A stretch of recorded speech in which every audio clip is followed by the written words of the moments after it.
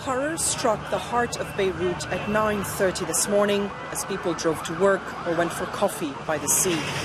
The beautifully rebuilt centre of town, the scene of devastation for the first time in years.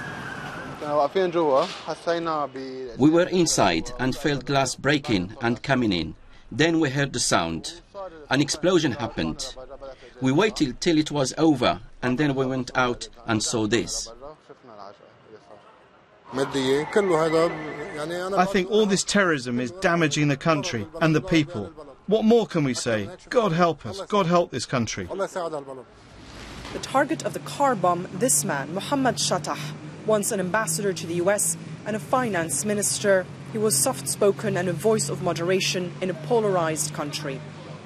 Crucially, he was a key advisor to Saad Hariri, the leader of the political bloc opposed to Syria's government and its ally here in Lebanon, Hezbollah, a Shia militant group.